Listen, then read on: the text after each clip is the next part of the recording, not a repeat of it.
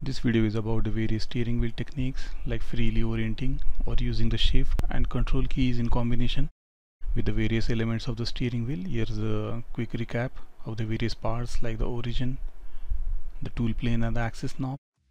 First in the assembly environment, I drop a cover part and its orientation looks perfect because I modeled it from the assembly point of view and normally I would use the relationships the various assembly relationships from the command bar but uh, this part looks uh, aligned perfectly except the offsets.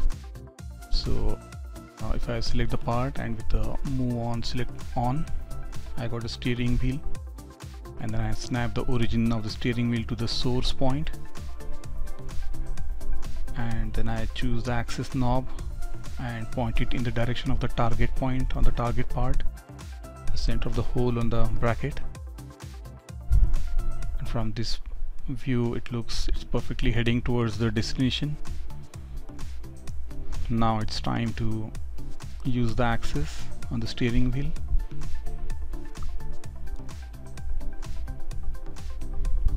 And drag the part towards its destination. And I am to snap it to the center. Maybe I can use explicitly the center point and the part because it's oriented perfectly it snaps into position. And from every view the right view or the front view note the keyboard shortcuts at the bottom. But there are no assembly relationships yet so I use the assembly relationships assistant. Simply pick the part the cover part and the destination and click process. And all the relationships are created automatically. And once I finish the command and select the part in the pathfinder you can see all the relationships are added.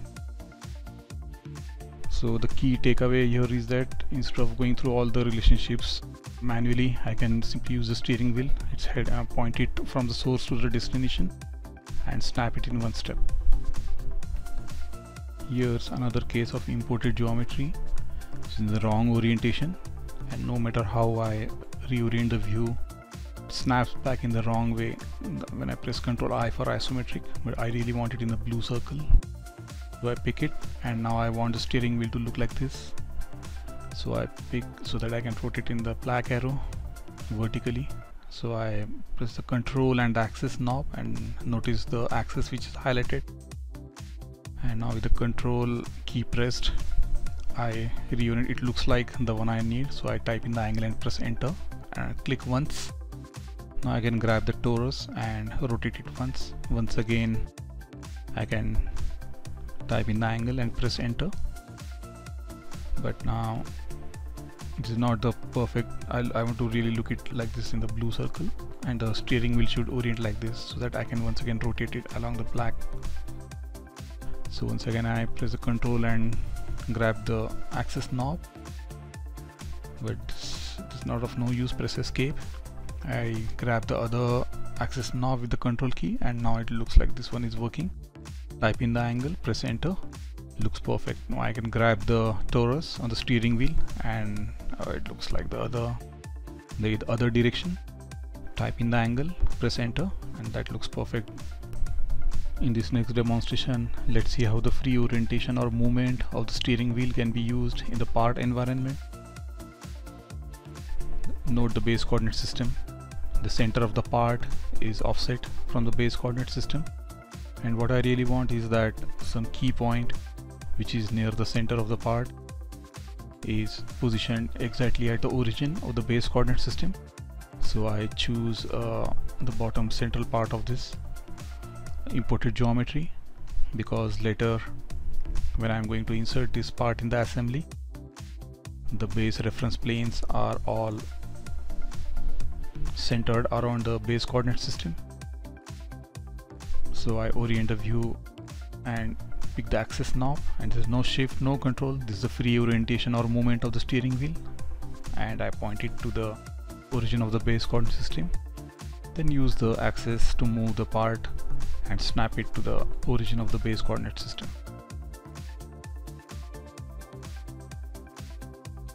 Next we will see how to use the shift key in combination with the axis knob. I want to reduce the length of the leg of this caster wheel from the axle center to the midpoint of the yoke plate on the leg. It turns out to be 65 now I can simply select the axle hole and the design intent will take care of rest of the things like concentric faces, parallel faces and tangency. I grab one of the axes on the steering wheel but this is not the right way to move because it's moving only in one horizontal direction because the steering wheel is not really oriented correctly along the length of the leg. So I use the shift key and grab the axis knob and snap it to the midpoint of the yoke plate. Now the steering wheel is oriented correctly I can grab the axis in the direction and move it slightly type in the exact distance say 5 and now check the distance. It should be reduced from 65 to 60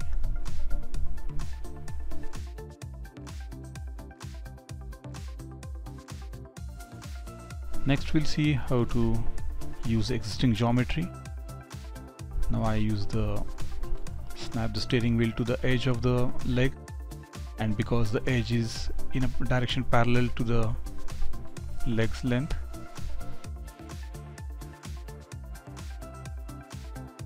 I can rotate the view and see the axis is aligned perfectly. It's time to check the distance once again. It should be reduced from 60 to 55 so in this way I can use the existing geometry to orient the steering wheel. In this example we'll try to reorient the imported geometry using the shift on the tool plane.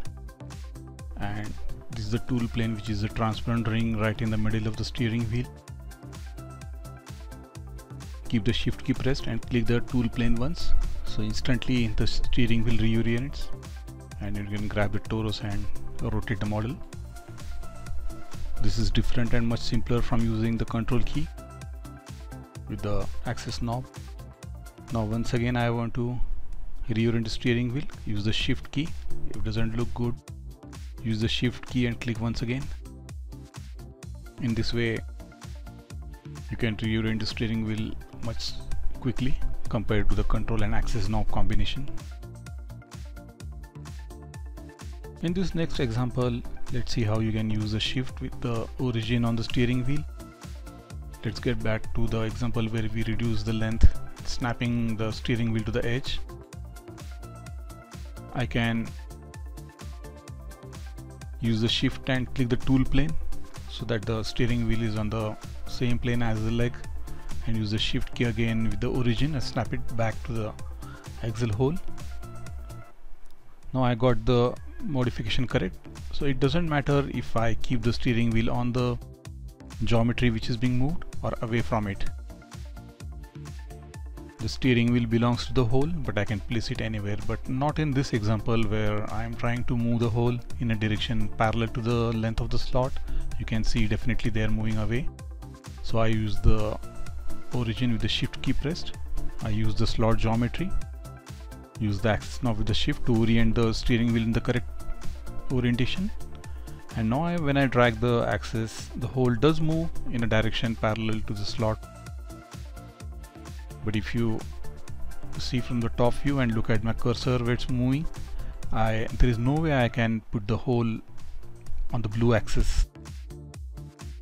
So I use the shift key again and I must move the steering wheel back to the, its original geometry where it belongs that is to the hole. And this time around when I drag the steering wheel it is I can snap it very easily to the slot. Thanks for watching this video.